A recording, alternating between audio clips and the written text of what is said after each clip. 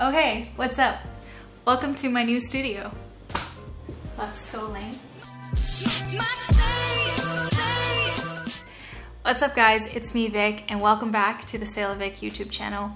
I know it's been a very, very long time since I posted my last YouTube video. I've been away for maybe like nine, 10, 9, 10, or 11 months. It's been a really long time, but I am back and I'm all ready to go. As you can see, I'm in my new workspace. This is going to be my new YouTube backdrop, and I'm really excited to share with you how I set this up, what this looked like before, what my studio situation looked like even before that earlier in 2020. If you didn't already know, I live in San Francisco and the housing and the rental prices in San Francisco are just insane. So the beginning of 2020, I was living in a roughly 600 square foot studio. My kitchen, my living room, my bedroom, all within this tiny box. So I didn't really have a lot of space. I started out painting on my dining table or it was like a kitchen island slash dining table. And I propped up a very cheap tripod on top, stuck a camera on there and tried to do top down time lapses of me painting. Then we found a table that was left out on the curb so it was free but it was an old Ikea table. Um, we tried to set that up right by the window and I was dealing with a lot of sunlight coming in. So I'd get like bright sun early in the morning and then the sun would come in and have like light leaks all over my desk. It was really hard to film time lapses. And then we went on to Craigslist and bought a table for either 100 or $150 and it was great. It had a lot of shelves so I could tuck in, you know, some of my supplies, my paints and tools and things like that. And I even painted the back of it for fun. However, that situation, although it was good for painting, I had quite a hard time setting up lights to get enough so that I could paint comfortably. And we had some Ikea lights set up. So finally, over Christmas of 2020, we moved to a new apartment. It is still a very small apartment, but it's one bedroom and I do have this designated space that's in between my kitchen on this side and my living room on this side. So we had this empty wall. I wanted to put something up that would serve as storage and organization, but then would also look good as a YouTube backdrop in case I wanted to film any videos. It also give me a lot of room and really big work surface when I am painting my shoes. So this is the current state of all my stuff. You'll see like boxes there. My desk is not tidied or organized in any way. Let's just see how we can transform this space. So we decided to go to Ikea, pick up some of these wall shelves. These wall shelves are called Havstas. Ikea was a little bit of a disaster because when we drove there, we went to one Ikea that said all of these units would be in stock, but they only had one of the shelves. So one of the shelving units and then they were sold out of everything else. So then we had to drive to another Ikea and the other Ikea had centerpiece, but they didn't have the other shelf. So then we had to go to another Ikea and just all these Ikeas are sold out, but we were lucky to secure the three pieces that we wanted.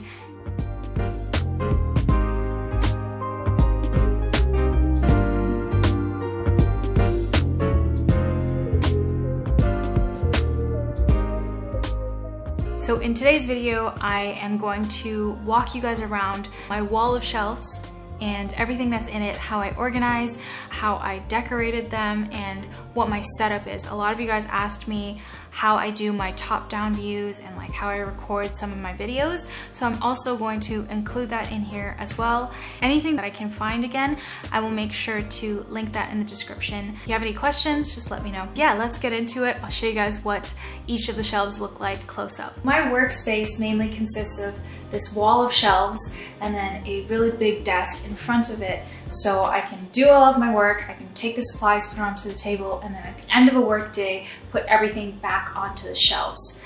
So I thought I would start with showing you guys what is on this side of the shelves. Right at the top, I have a pair of Jordans that's just uh, one of the projects I have on my wait list. I've got to get around to doing that. I'm really excited to work on them. On this second shelf here, I have just a pair of my Ice Cream Air Force Ones. This is my personal pair. Funny story, so the one down below, let me talk about this first, is a zombie Air Force One mid that I painted with Angelus Direct. So if you haven't seen that video already, I'll link that in the description down below.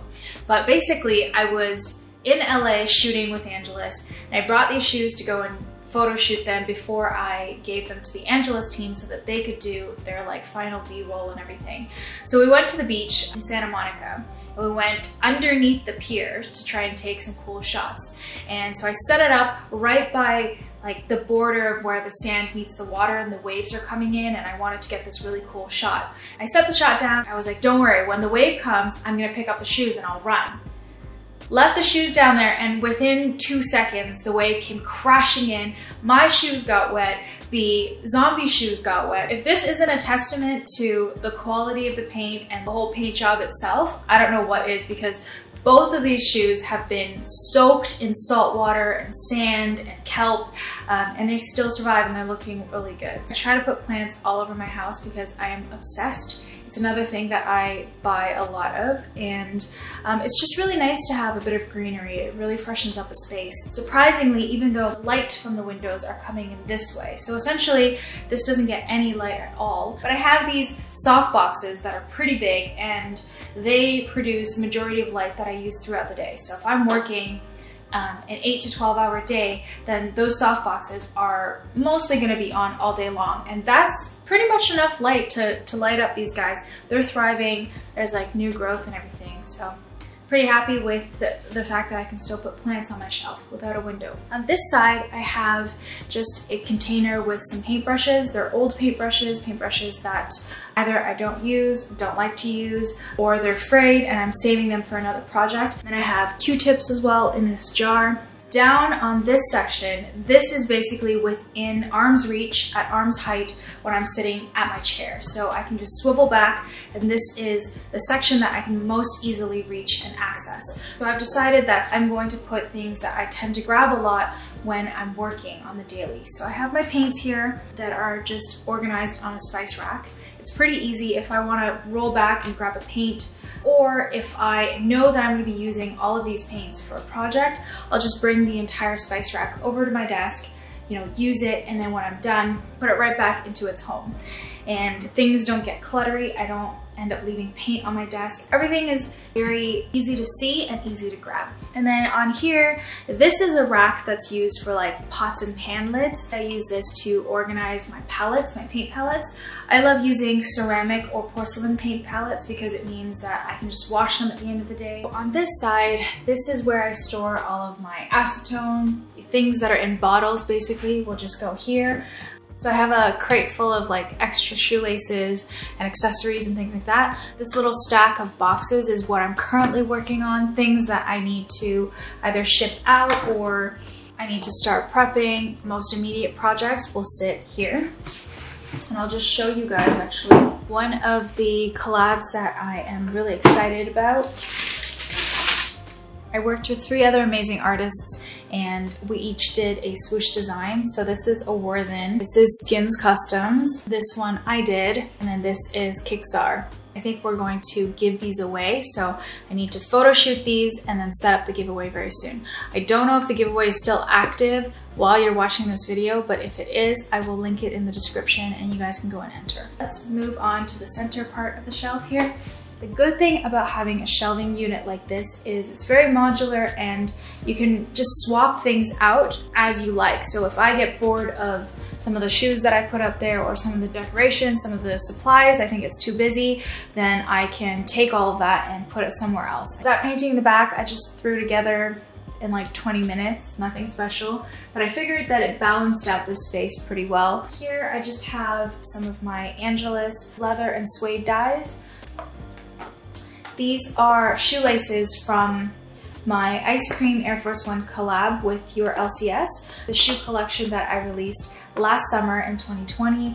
Um, all the shoes are sold out. I'm not making any more of them. However, I think the shoelaces are still available for purchase if you're interested. I'll leave the link if I can still find it in the description. This is the hashtag swoosh Sunday suggestion jar. So I always go on Instagram stories and ask you guys what you guys want to see next.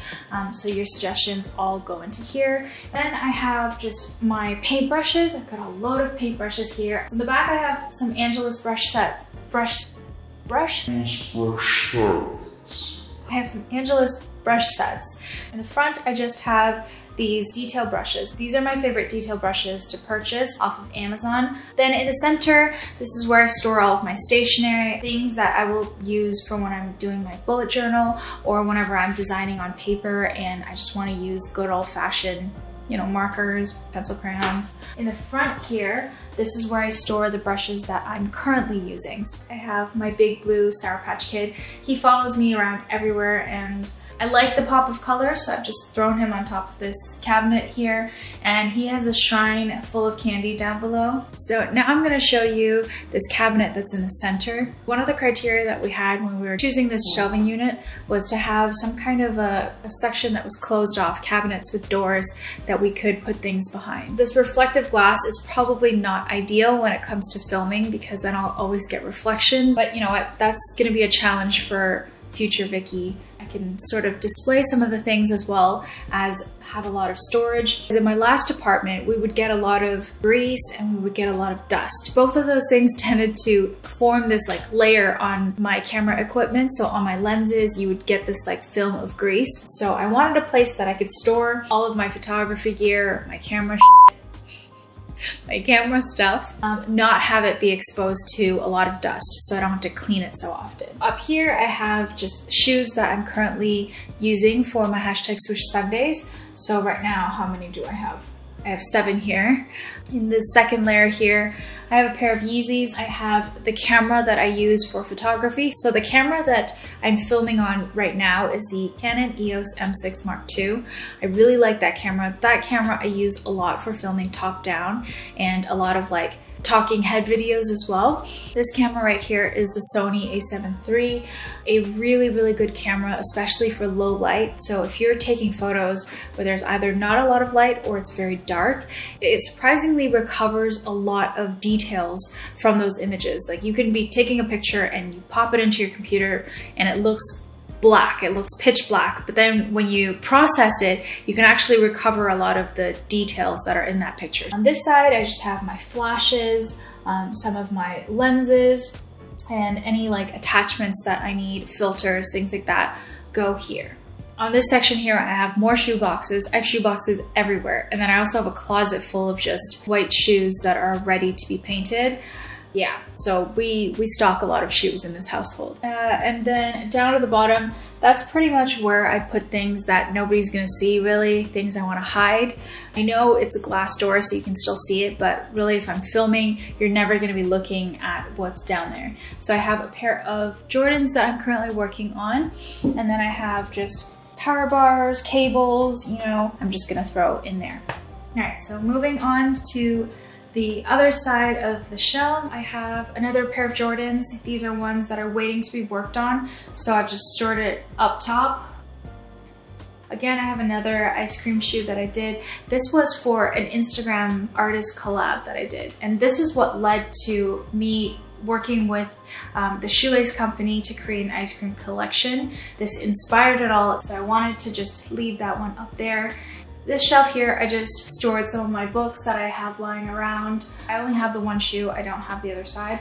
So the best place for it is just as display on my shelf. And this next shelf here is where I store my airbrush. So I have a Grex airbrush and I got this around I want to say late summer last year. It was an early, early Christmas present for myself. I also think it looks quite cool. So I've put it up on display as well. I can easily grab it, use it, and then again, put it back onto the shelf. All right, so in this corner, I decided to put some of my paints that I tend to grab a lot while I'm working. So I have my Liquid Kicks colors, I have some Alpha 6 paints in the back, I have some Liquid Kicks top coats. These are my favorite top coats to use. So I always have you know, them well stocked here so I just quickly grab them. And then I have the Angelus one ounce containers over here. You know, if you're looking for certain colors, you can either pluck them out from here or you can pull the whole container. I can put it on my desk, use it, and then again, put it right back. I have my heat gun down here. This is really easy to access. Just turn my chair around again, grab it, use it and put it back. The heat gun I use pretty much every time I customize. So I always have it handy. And then this is just a monitor that I use. Um, I connect it to my camera so that when I'm recording top down, I can see what the camera is picking up and what the field of view is. This is just a crate full of tape. So I have all types of tape and then I also have my cotton swabs and some extra supplies here. And then I just have this like industrial buffer here. I actually use this to massage my shoulder and my back. Has nothing to do with my shoes. I'm going to include a quick time lapse of me putting together my top-down camera setup. It used to consist of an Amazon backdrop stand and I would take clamps and attach my camera to it or attach my phone to it. But since I've been using heavier cameras and lights as well, I decided to upgrade the legs to the same ones as my softbox and then bring in a sturdier rod that goes across. You can also look for boom arms on Amazon and attach your phone or your camera. That will give you a similar top-down effect. All these legs, clamps, accessories I purchased off of Amazon, so I will link those in the description if you are interested. All right, so I hope you guys enjoyed a tour of my brand new workspace. It is very small. I live in a very small apartment, but this is everything that I could possibly need. There's enough room for my overhead setup. There's enough room for my studio lights, for my camera. Um, there's enough space for me to roll around and grab my supplies and there's a home for everything. So I honestly have no excuse to not be creating and not be making new content for you guys. And I just wanted to say that even though I have so much stuff, you don't need even half of this stuff to start customizing your shoes.